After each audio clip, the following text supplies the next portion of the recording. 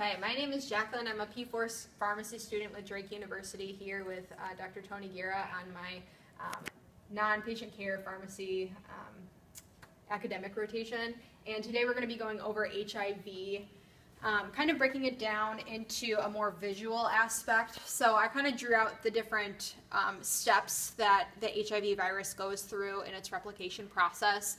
First, it, we have the binding process. The red is going to represent um, the actual HIV virus, and then this huge cell um, is going to represent the CD4 um, cell. So we have uh, first binding, um, then we have the fusion, we have the reverse transcriptase of the, um, the virus components being broken down. Then we have integration of the virus component into the, the DNA.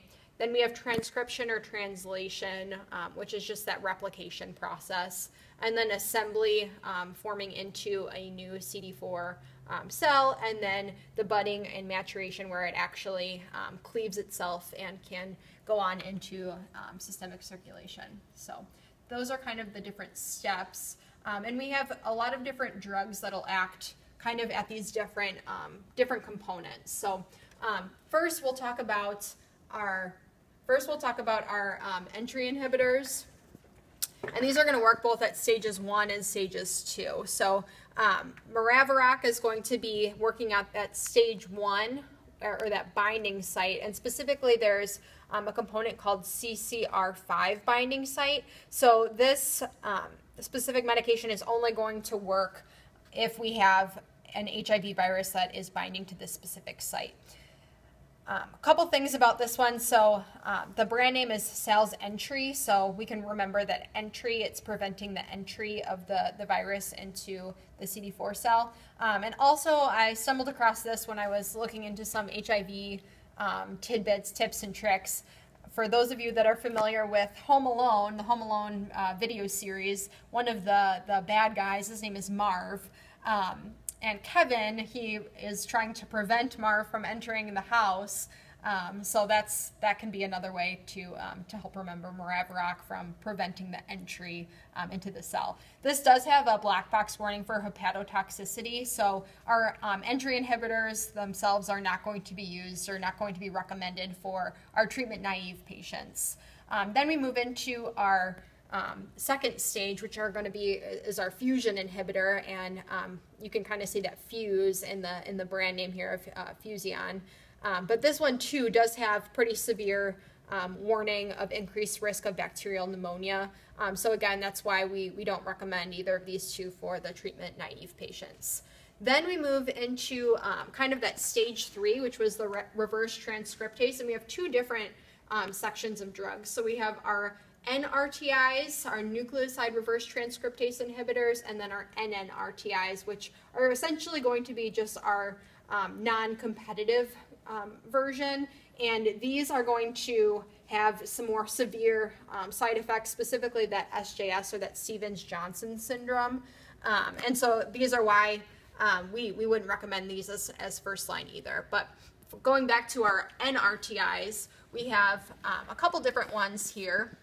We have tenofovir or Vir, Viread, emtricitabine, Emtriva, lamivudine, Epivir, and then we have abacavir, Ziagen, stavudine, Zerit, and zidovudine, retrovir. And then just a couple things that I wanted to point out with these different ones. So um, all of these are going to need renal adjustments except for our abacavir. So this one um, is mainly um, hepatically metabolized. So um, when, when you think of our NRTIs, we're going to think renal adjustments. Also, the class of NRTIs are known to cause lactic acidosis. Um, so that that's a, a, big side effect profile for, for these medications too. Specifically for tenofovir, um, we're, we're going to think a lot about nephrotoxicity and osteoporosis with this medication. Emtricitabine, we're going to think about headaches. And then abacavir, um, this one's really important to make sure that we're doing um, the, the, specific genotype testing, HLA-B star 5701. Um, and if a patient tests positive for this, um, then they cannot receive abacavir or any of the medications that um, abacavir is in because of the hypersensitivity reactions that it will um, it will cause, specifically that Stevens-Johnson syndrome. And then for uh, zidovudine, we have the bone marrow suppression um, that's specific to this medication too. Okay, then we move into our NNRTIs. And again, the difference between the NRTIs and the NNRTIs are going to be um, that these are going to be non-competitive or a little bit less selective. Um, and that's going to show itself in a lot of the, the adverse effect profiles. So again, just as we were thinking lactic acidosis with the NRTIs, we're going to think the SJS, Stevens-Johnson um, syndrome, or hypersensitivity reactions with our NNRTIs. And we have just a couple here that that I'll point out. Um, so we have uh, Sustiva, which will or is known to cause suicidal ideation and depression. Um, so I, I just um, underlined sus for uh, suicide. Um, that kind of helped helped me remember it. And then we also have um, nevirapine, um, and this one is going to be the most severe at causing that increased risk for SJS. Um, and then it also has that Vera in both the, the brand and the generic that can help you um, remember that medication as well. And then um, we have the Edurant, which is going to cause that QT prolongation. So kind of just a couple specific side effect profiles to, to remember with, with the NNRTIs. Okay, then we move into our integrase inhibitors. So um, these are going to really prevent the integration within the host cell. So um, we have three three main medications here that we'll that we'll point out, and these are all going to end in the tegravir. Are going to have that tegravir stem. So uh, the first one here, dolutegravir, we have an increase in serum creatinine, but it's not going to affect our GFR. So that's going to be something that's specific to this medication. Then we have um, elvitegravir, and then this is known to cause headache and insomnia, and then raltegravir. Um, and I associate the R's together in this medication for rhabdo or rhabdomyolysis um, due to that increased risk of CPK. Um, a lot of these medications too, uh, I like to point out that class side effects. So with our NRTIs, we had the lactic acidosis, the NNRTIs, uh, we had the SJS, and then with our integrase inhibitors, um, this one we're going to really want to be careful with um, administering antacids, multivitamins, and other supplements um, with, with these medications. Um, another way that I like to think of integrate inhibitors too, so we have um, tegravir, so integ integrase, we're integrating, so the, the name of the, the uh, class of medications is inherently in the stem as well. And then moving into um, the last class here that we have are going to be our protease inhibitors. And protease is an enzyme that's going to work to cleave the, um, the, the new cell from um, the, the parent cell. So uh, by in inhibiting the protease, we are inhibiting the, the ability of the new the new um, infected cell to leave that parent cell. So couple uh, couple medications here, and they're all going to have that stem, the navir, um, ending in, in a lot of these. So we have atazanavir, or Reyataz, and I just pointed out um, that um, ataz is both in the in the brand and the generic here. Um, and then there are, uh, and within this class of medications too, there are um, a lot of sulfa allergies that we need to be be aware of. So I noted those. So um, darunavir, this one is one that we need to be, be aware of with the, the sulfa allergy. Uh, fosamprenavir, this one as well, we need to be aware of that sulfa allergy. Indinavir, saquinavir. This one we need to be um, aware of the QT prolongation. Tipranavir, this one also has that sulfa allergy component to it. Um, and also it has intracranial hemorrhage associated um, with as an adverse effect. So um, that's something that we need to monitor as well. And then all of these medications um, are going to be boosted with something called ritonavir. And this essentially is just going to help the, the medications work a little bit better. Um, and that's all of the medications listed except for um. So um, the brand name for this is Viracept. So I thought except the boost. So we don't we don't need that boost with this. Um, and something that I kind of um, thought of too that that helped me remember um, the metabolic abnormalities of hyperlipidemia and hyperglycemia associated with the protease inhibitor class. Um, so I came up with. bear with me. I'm going to sing this out. Na na na na na na na na na na na hey hey. So the the nas in the uh, in, in the different endings here, and then hey hey for hyperlipidemia and hyperglycemia. So if that helps you, um, like it helps me, um, that that could be a different way to to remember that. Um, and then we have um, kind of the the role in therapy of putting all of these medications together. So. Um, it's really important when we're talking about HIV that we do not want to use monotherapy. HIV is a very resistant um, infection, so we're actually going to want to use at least three different medications in order to treat HIV. Um, specifically, as I as I mentioned earlier, we're not going to use the NNRTIs or our entry inhibitors. So our our um, sp- sp- specifically the Maraviroc um, or the Fuzeon uh, due to the side effect profiles. So we're going to look at having two of our NRTIs and then adding either one of the integrase inhibitors or one of the protease inhibitors with that uh, ritonavir boost. And again, that's all of them except the Viracept because that's except the boost.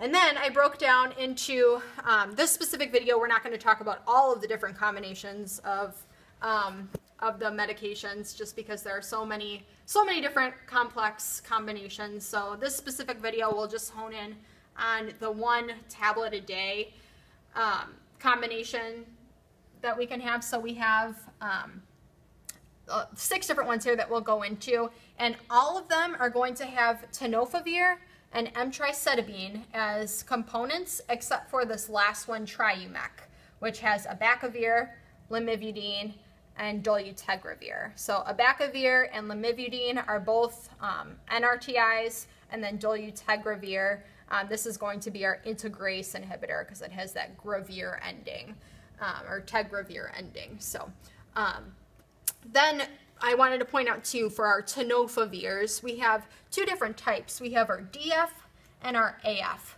Essentially, the AF just means that it's going to be a little bit better on our kidneys. So um, these numbers that I have associated um, below all of the different medications are going to be associated with uh, creatinine clearance. So um, any any creatinine clearance that's below these numbers, these medications are going to be contraindicated for those individuals.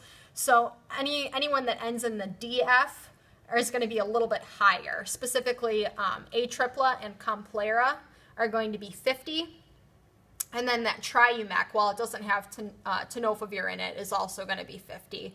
But then the tenofovir uh, medications, the Genvoya and the Odefsey, are both the AF component, and those are going to go all the way down to 30. So we can use these in individuals that have a little bit um, worse renal function. And then um, this one's a little bit different. It does contain that, that DF um, component. So again, it's not going to be um, used in, in, individuals that have some more severe kidney function. Um, but I like to associate the S's together. So S for Stribild associates with S for 70 um, is how I remember remember that. Okay, and then we'll move into our opportunistic infections down at the bottom because um, oftentimes individuals that have HIV aren't going to die from the HIV, they're going to die from the, the infection that takes over um, due to the, the decreased immune, immune response. So um, I specifically went into just the bacterial component here. So um, I have three different, three different charts. So on the left here are going to be the specific infection that we have. So we have PCP, Toxo, and MAC, MAC. Then the middle component that we have here is going to be the CD4 count. So less than 200, less than 100, and less than 50. These are the numbers um, when, once a patient gets below um, a CD4 count of these numbers, that's when we're going to initiate the prophylactic therapy. And then on the very right here, we have the specific drug regimen um, that will be initiated. So um, for PCP, it'll be the, the Bactrim or sulfamethoxazole with trimethoprim, and that'll be either a single strength or a double strength every day. Then for the Toxo, we have, again, we have the sulfamethoxazole trimethoprim or the Bactrim, and that's just one double strength every day. And then when our CD4 count gets really low, um, then we're going to add in the macrolides. So I, I, associated the M for the MAC infection, and specifically we're going to have either azithromycin or clarithromycin. Um, azithromycin, it's going to be 1,200 milligrams a week, um, or it can be dosed two, at 600 two times a week, and then clarithromycin is going to be, um, it, I am blanking on the specific dosing, but it's it's two times a day. Um, I need to I need to review um, that specific dosing. But a way that you can help remember the, uh, the order of, of these specific bacterial infections, I associated P, T, and M. So prevent bacteria from taking over me. So P, T, and M uh, helps you with that. And if you can remember that 200, then you can just divide by 2. So 200 divided by 2 gets you at 100, and then 100 divided by 2 gets you at 50 um, is a way that you can, you can remember that. And then we have, um, last but not least, as I mentioned, we had, um, it was really important for in treating HIV, we want to have at least three different medications, but we do have something called PrEP therapy or pre-exposure prophylaxis. Um, and this is composed of two different medications. So uh, we have emtricitabine and tenofovir. And both of these are going to be the NRTIs, and the brand name for that is Truvada. So these are going to be, or this medication is going to be administered um, for patients that are at risk for developing HIV.